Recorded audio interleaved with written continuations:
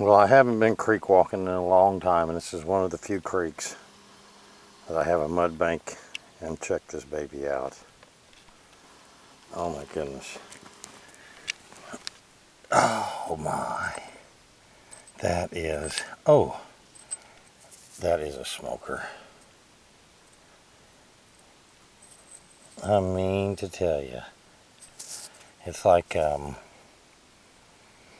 quarter to four in the afternoon. I just got out. Had a lot of work to do.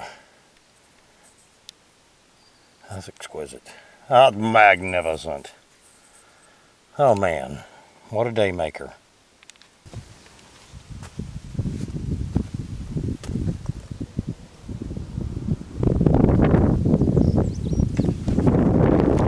Well, I went to get my camera to film another arrowhead, but on the way back, I found this one. Check him out. What a nice little pink point. But I think the one that I'm going to film is even better. It's right here. I cannot believe I've seen it even. Stack them rocks up so I can see where it's at. I mean, hidden so well between all these little rocks. And I was walking from that direction, from that direction. Hey, look at that, that rock stuck on it. I'll be darned.